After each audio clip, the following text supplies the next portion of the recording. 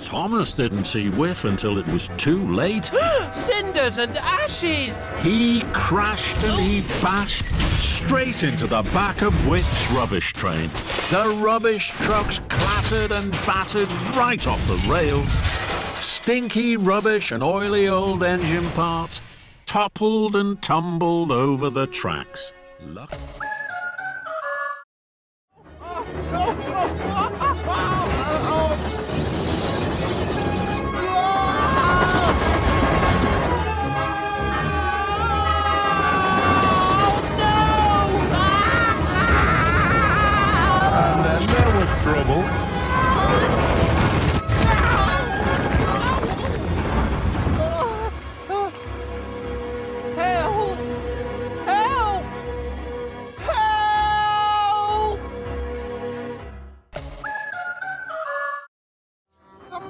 Amend! Thomas! Your lord!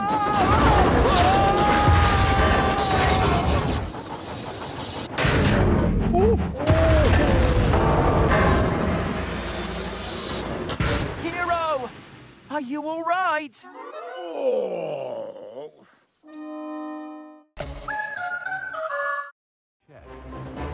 But then there was trouble. Oh